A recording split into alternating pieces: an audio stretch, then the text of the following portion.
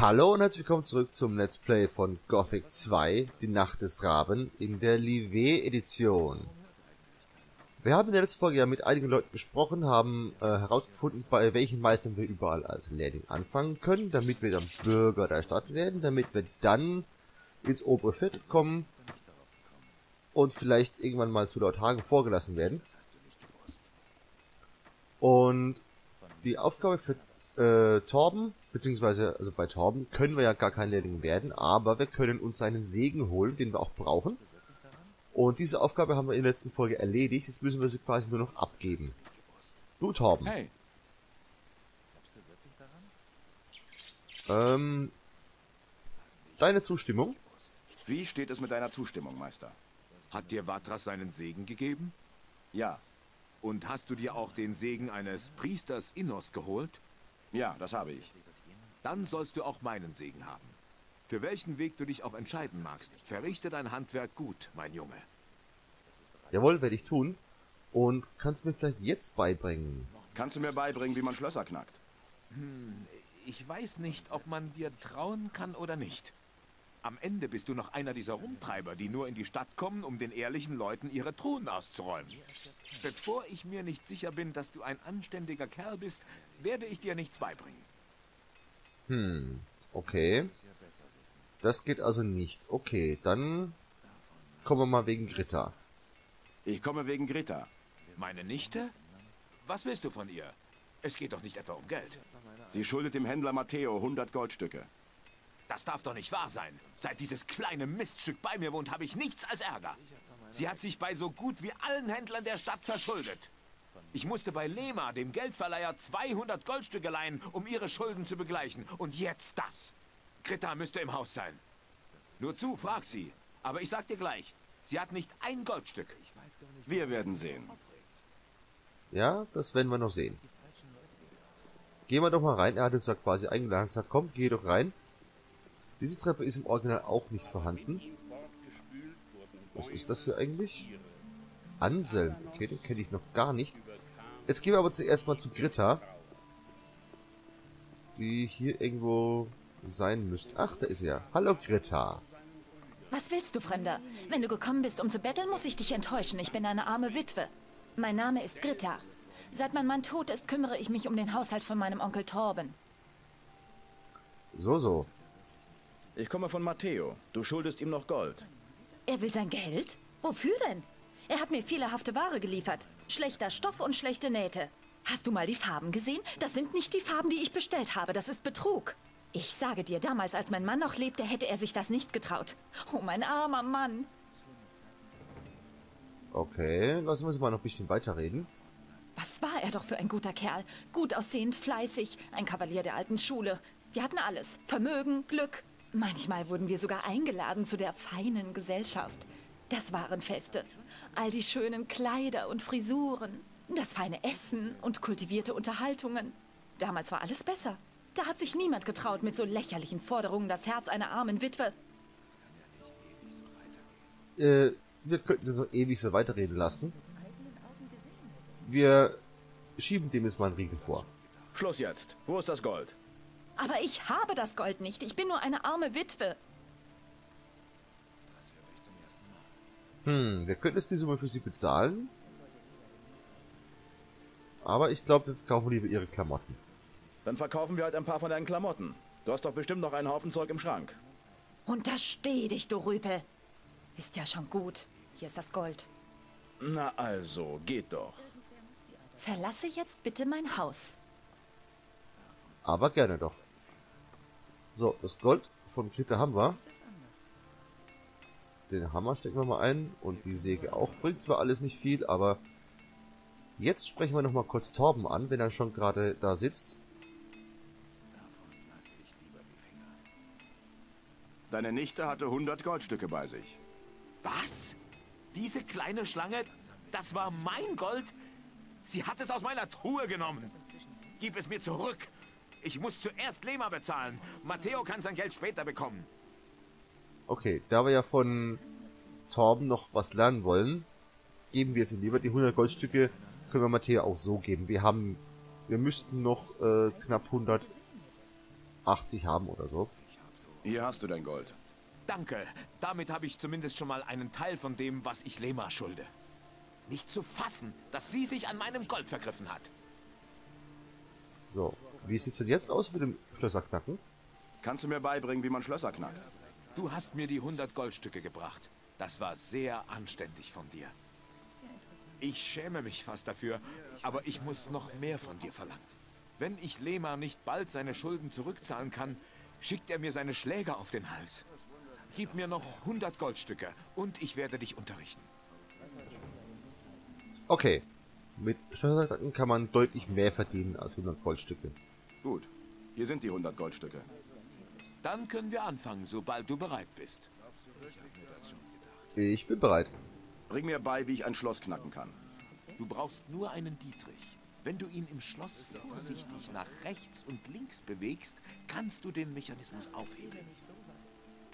Aber wenn du ihn zu stark oder zu schnell in die falsche Richtung bewegst, dann wird er dir abbrechen. Je geschickter du wirst, desto weniger Dietriche brauchst du. Das ist eigentlich schon alles. Tja, hört sich doch relativ einfach an. Und du hast doch bestimmt Dietriche zu verkaufen, oder? Kannst du mir Dietriche verkaufen? Wenn ich noch welche habe? Also den Apfel kaufen wir auf jeden Fall. Wir haben noch 219 Gold jetzt. Ja. Da können wir sogar die ganzen 12 Dietriche kaufen. Und wir verkaufen ihm auch noch ein bisschen was. Und zwar die Säge, die wir von seinem Haus geklaut haben. Und den Hammer. So, das war's jetzt einfach mal für den Moment. Dann gehen wir doch am besten gleich zu Matteo und liefern dem auch sein Geld ab. Beziehungsweise liefern unser Geld bei Matteo ab.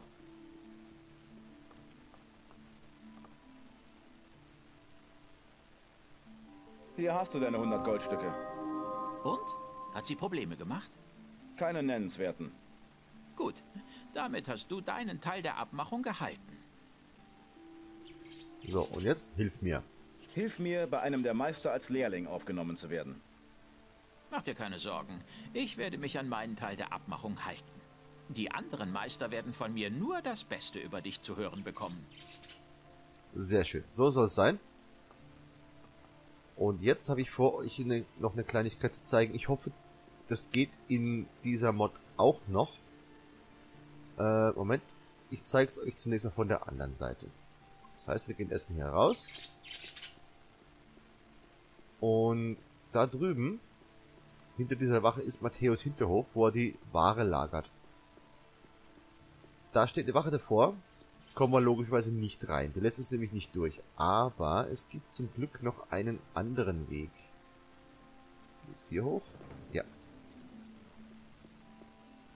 So, und zwar, das ist nicht ganz so einfach. Muss ich erstmal hier aufs Dach springen. Ja. Ich hoffe, äh, das dauert jetzt nicht allzu lange.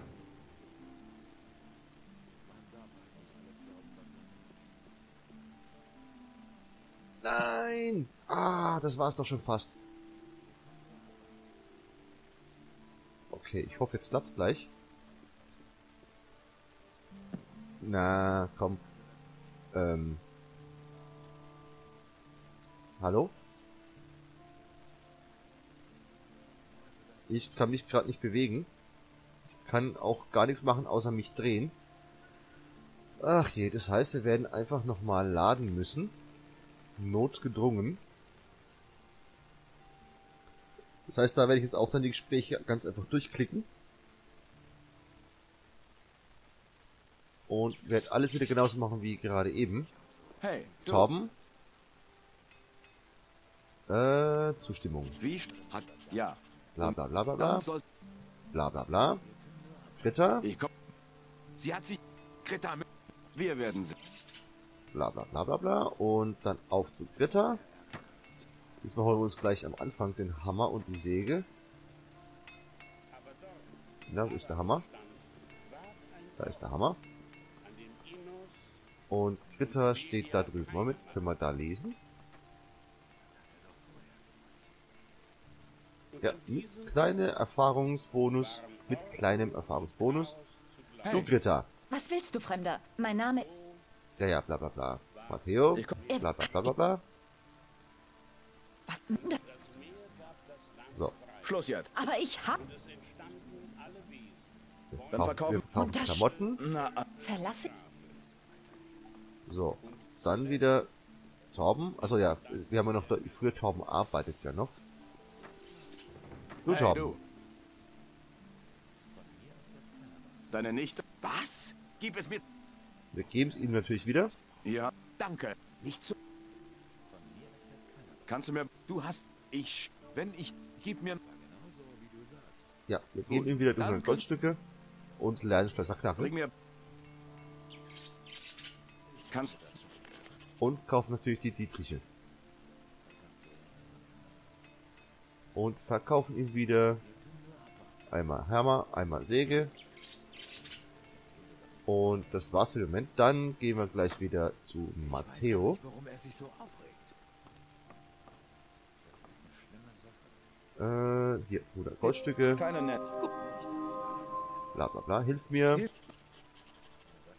Fertig. So. Jetzt gehen wir wieder hier hin.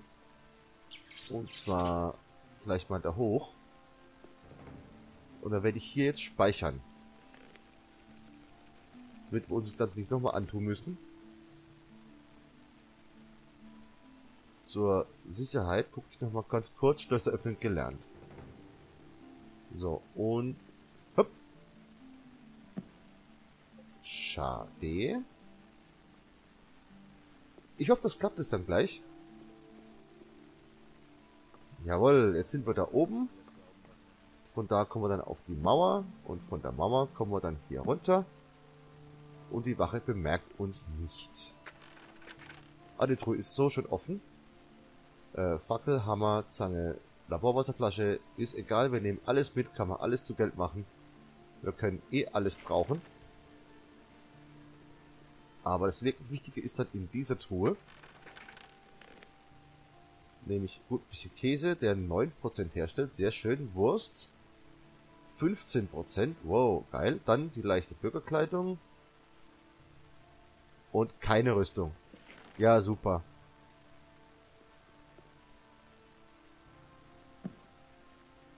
Äh, kommen wir jetzt nicht wieder raus, oder?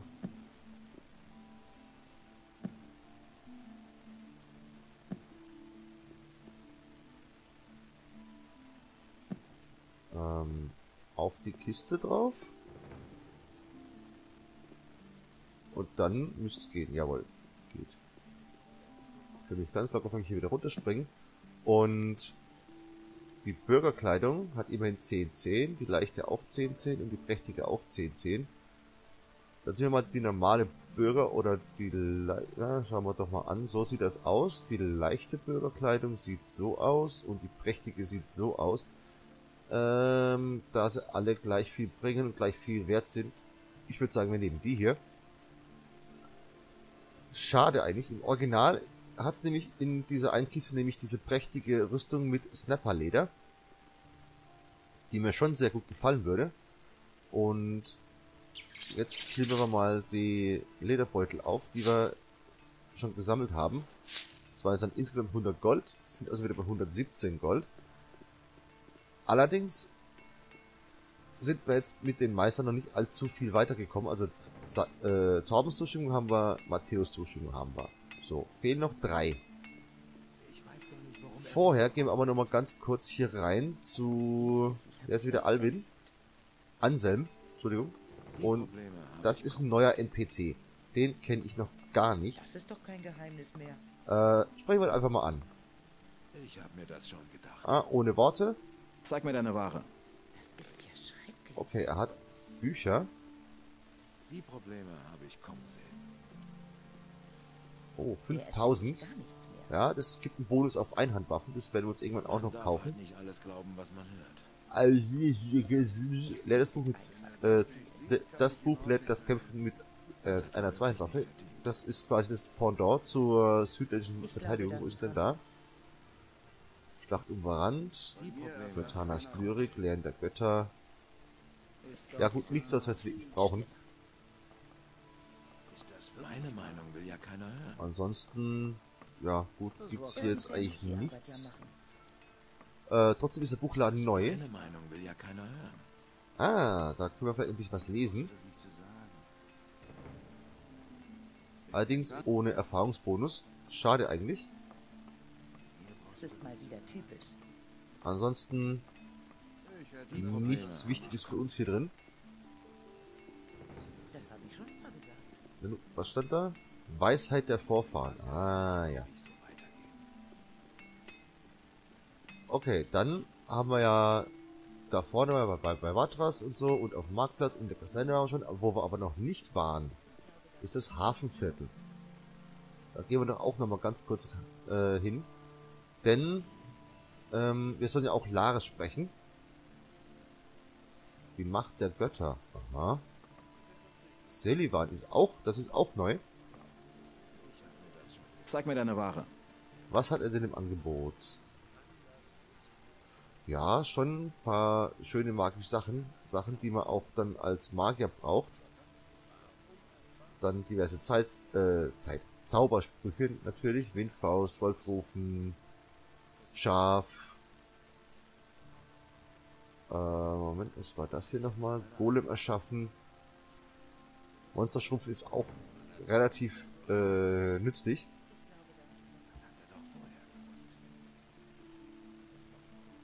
Ansonsten, ja, also eigentlich gar nicht so schlechte Sachen. Nur eben im Moment nichts für uns. Man kann hier nirgendwo was mitnehmen. Selbst wenn man wollte, wir könnten ihn gar nicht be- bestehlen, beklauen.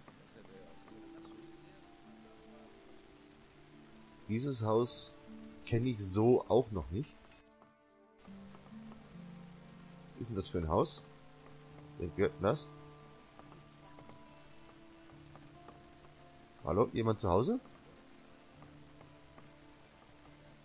Hm, scheinbar nicht.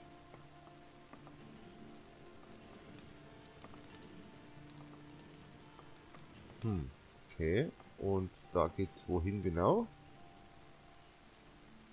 Da habe ich doch gerade eben noch was gelesen. Moment, das Haus hatte doch zwei Stockwerke, oder? Oder bin ich da jetzt gerade ganz falsch?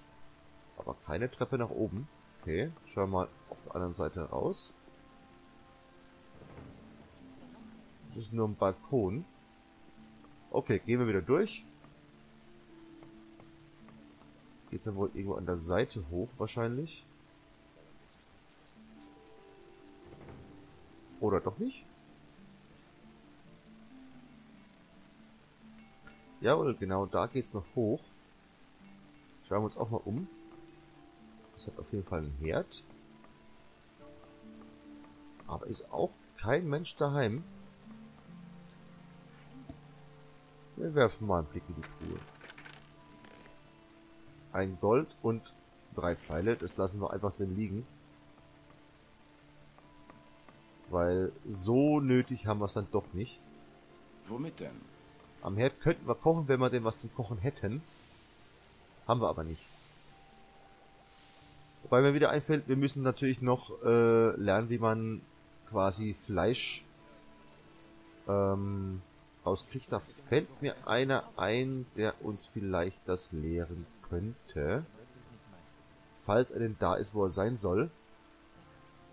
Da ist er ja. Alvin. Junge, das Gehämmer von diesem Irren macht mich total fertig. Wen meinst du? Hörst du nicht das Hämmern?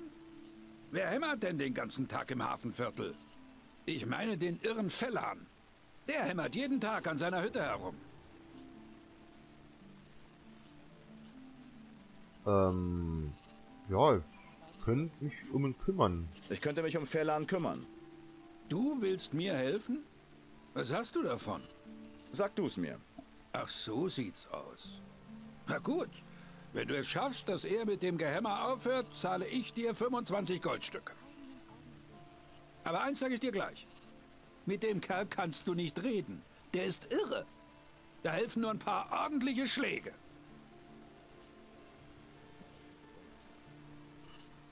Ja gut, aber wenn ich jemanden verprügel, dann kriege ich doch Ärger, oder? Wenn ich ihn verprügle, bekomme ich doch Ärger mit der Miliz. Hier im Hafenviertel kümmert sich keiner um Schlägereien. Nur wenn du hier was klaust oder dich an den Schafen vergreifst, bekommst du Ärger. Okay, dann wir schauen mal, was wir machen können. Ich werde sehen, was ich machen kann. Du kannst es dir ja noch überlegen. Denke daran. Ich zahle dir 25 Goldmünzen. Okay, und du hast vorhin die Schafe erwähnt, ne? Sind das deine Schafe? Mir gehört nur das eine, das auf den Namen Lucy hört. Das ist meine Frau, die Lucy. Die Schafe gehören der Miliz. Alle Schafe, die sie von den Bauern einkassieren, bringen sie zu mir. Mhm. Und Und? Was machen die Schafe? Das Gehämmer von Fellern macht sie noch verrückt. Irgendwann werden sie völlig durchdrehen. okay. Ich hätte jetzt gehofft, dass er mir ähm, beibringen kann, wie man Tiere ausnimmt, noch weiter. Ähm, Tiere ausweiden gelernt. Ist jetzt die Frage, können wir damit auch Fleisch von Tieren holen? Wäre fast mal ein Versuch wert. Aber ich wollte vorher noch woanders hin. Ich weiß gar nicht, warum er sich so ärgert. Ah, okay, das Hafenbecken ist so auch neu. Ich suche nämlich einen bestimmten Menschen, nämlich den, der da vorne steht. Es müsste Laris sein. Zu dem sollen wir ja hin. Von Vatas geschickt. Ich werd verrückt. Was machst du denn hier? Laris war in Teil 1 Chef der äh, Banditen im neuen Lager. Und wir tun mal wieder so, als, als ob wir ihn nicht kennen würden. Sind wir uns schon mal begegnet? Mann, du kannst dich nicht mehr an mich erinnern? Ich habe mich im neuen Lager rumgetrieben. Die Liste für die Mine. Mann, wir hatten echt eine Menge Spaß. Erinnerst du dich dann noch an Lee? Ähm, Lee? Lee? Du hast wohl eine Menge mitgemacht, was? Lee war der Anführer der Söldner im neuen Lager. Ich bin damals mit ihm aus der Kolonie abgehauen. Kurz nachdem die Barriere zerstört wurde. Er ist jetzt mit seinen Jungs auf dem Hof von Onar, dem Großbauern. Er hat einen Deal mit dem Bauern gemacht. Er und seine Jungs verteidigen den Hof und Onar füttert sie dafür durch. Aha. Ähm, zunächst mal wollen wir ja was lernen. Kannst du mir was beibringen? Klar. Wenn du willst, helfe ich dir geschickter und stärker zu werden. Zunächst mal brauchen wir ein bisschen was an Geschick. Bring mir was bei. Und zwar fünf Geschicklichkeit bitte. Du Damit, hast schon etwas an Geschicklichkeit gewonnen. ja, damit können wir jetzt nämlich den ähm, kleinen Bogen und den Degen anlegen, wenn ich mich nicht irre. Schauen wir gleich mal nach. Den Degen können wir jetzt anlegen, jawohl, und den Kurzbogen. Sehr schön. Jetzt können wir noch mal ein bisschen was mit Laris reden. Und zwar wüsste ich gerne mehr über Lee und seine Söldner. Erzähl mir mehr über Lee und seine Söldner. Was willst du wissen? Alles. Erzähl mir mehr über die Söldner. Also wenn du noch so ein harter Junge bist wie damals, solltest du mit ihnen keine Probleme haben. Die meisten von ihnen sind Raufbolde. Und wer sich nicht durchsetzen kann, kommt auch nicht weit. Wenn du zart beseitet bist, hast du keine Chance, bei ihnen zu landen. Ja, wir werden noch sehen, ob wir bei ihnen überhaupt landen wollen. Auf jeden Fall, wir werden alle Aufnahmequests erledigen, bis auf das Kloster. Denn es kostet mir zu viel. Und wir werden, also ich habe ja vor, euch entscheiden zu lassen, welcher Fraktion wir uns anschließen. Gehen wir zu den Söldnern auf dem Hof, schließen wir uns der Miliz an oder dem Magier, dem Kloster der Feuermagier, obwohl Feuermagier für den für die Skillung, die ich vorhabe, nicht unbedingt so super geeignet ist. Deswegen würde mich jetzt mal interessieren, warum Laris eigentlich hier ist und nicht auf dem Hof. Warum bist du nicht bei Lee und seinen Söldnern? Bin ich doch. Nur eben nicht auf dem Hof. Ich bin sozusagen unser Vorposten in der Stadt. Wir wollen ja schließlich nicht, dass das Schiff ohne uns abfährt. Richtig, wollen wir nicht. Äh, er redet natürlich vom Schiff der Paladine, ne? Von welchem Schiff hast du geredet? Es liegt am Hochseehafen, hinter den Felsen. Lee und ein paar von seinen Leuten wollen unbedingt hier weg. Aber das kann noch dauern. Warum? Das fragst du am besten Lee, wenn du ihn triffst. Er hat Pläne. Oha, Pläne. Und wie komme ich eigentlich zu Lee und seinen Söldnern auf den Hof des Großbauern? Wie komme ich zum Hof des Großbauern? Es ist ganz einfach. Du gehst aus dem Osttor der Hafenstadt und dann immer auf dem Weg in Richtung Osten. Ich kann dich hinbringen, wenn du willst. Ja, aber nicht jetzt. Ähm, denn vorher will ich vielleicht noch gerne mit den Paladinen reden, wenn es geht. Ich muss unbedingt mit den Paladinen reden. Was willst du denn von denen? Sie haben ein mächtiges Amulett, das Auge Innos. Ich muss es haben. Und du denkst, sie werden es dir geben? Du kommst ja nicht mal ins obere Viertel. Ich werde schon einen Weg finden. Klar, wenn du dich bei den Bürgern einschmeicheln oder Laufbursche für die Miliz spielen willst.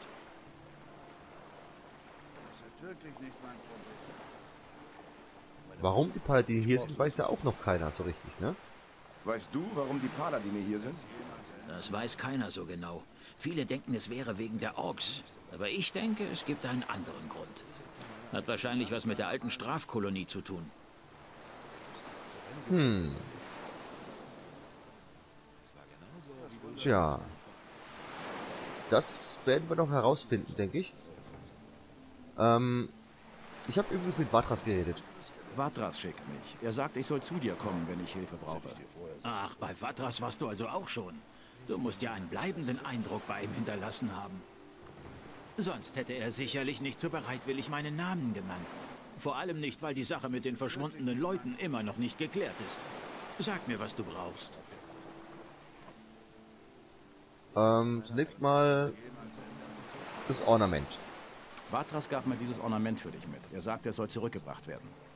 Ach, natürlich, es bleibt mal wieder an mir hängen. Hätte ich mir ja denken können. Ich muss damit über die halbe Insel rennen, um es den Wassermagiern zu bringen. Ähm, das könnte ich doch übernehmen. Ich werde das Ornament für dich hinbringen. Hm, ich glaube, es ist besser, wenn ich es selbst überbringe. Aber du könntest mich begleiten. Doch ich komme hier im Moment nicht weg. Ich muss den Hafen im Auge behalten. Okay, warum? Was genau machst du hier im Hafen? Darüber kann ich nicht reden. Vatras würde mir den Kopf abreißen. Okay. Ähm. Ja, was er mit Vatras zu schaffen hat, ist klar. Denke ich, oder? Dürfte klar sein inzwischen, ne? Was hast du eigentlich mit Vatras zu schaffen? Ich habe da so ein kleines Abkommen mit den Wassermagiern, verstehst du? Was für ein Abkommen? Wir arbeiten für sie und sie sorgen dafür, dass wir keine Probleme aufgrund unserer Vergangenheit in der Sträflingskolonie haben. Du redest vom Ring des Wassers? Du hast schon davon gehört? Vatras hat mir davon erzählt. Sag das doch gleich. Okay, dann lassen wir uns doch mal noch ein bisschen was über den Ring des Wassers erzählen. Erzähl mir mehr über den Ring des Wassers. Der Ring ist für die Wassermagier das, was die Paladine für die Feuermagier sind. Aber im Gegensatz zu den Paladinen arbeiten wir im Hintergrund. Der Ring ist eine mächtige Waffe im Kampf gegen die Gefahren, die den Menschen von Korinis drohen. Aber das kann nur funktionieren, wenn wir geheim halten, wer alles zum Ring des Wassers gehört. Deshalb erhalt die Sache für dich. Klar. Natürlich verliegt die Sache für mich. Ähm, ja, dem, dem Ring wollen wir uns ja eh anschließen, also fragen wir ihn gleich mal. Ich will mich dem Ring des Wassers anschließen. Das ist gut. Aber die Entscheidung darüber, ob du aufgenommen wirst, liegt einzig und allein bei den Wassermagiern.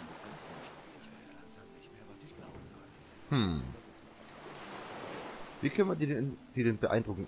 Vatras hat es uns schon gesagt. Wir sollen das Rätsel um die verschwundenen Leute lösen, aber mal gucken, vielleicht hat Lars ja noch eine andere Idee. Was hast du gemacht, um die Wassermagier zu beeindrucken?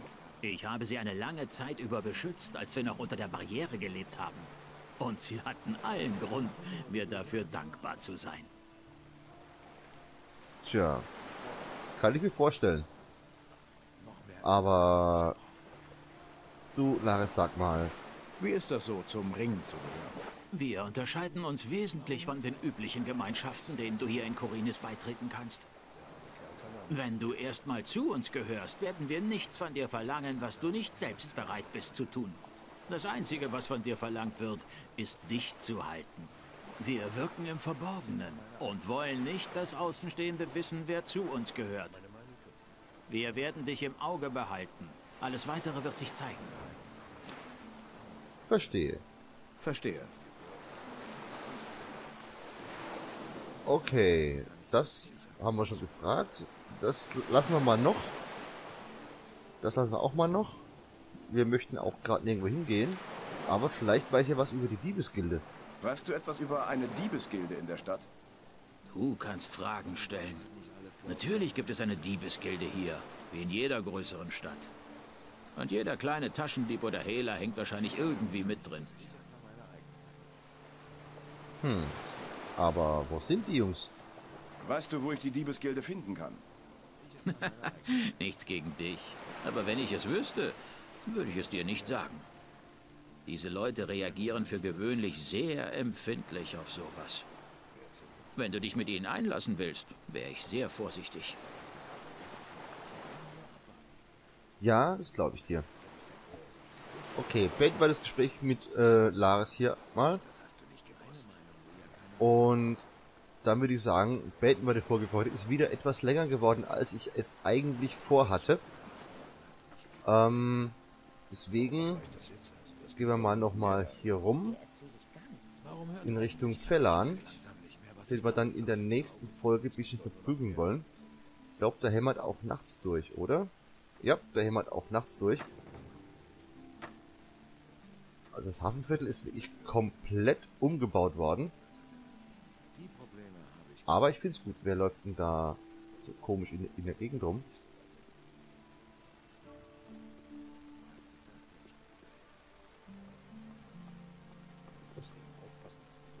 Brahim.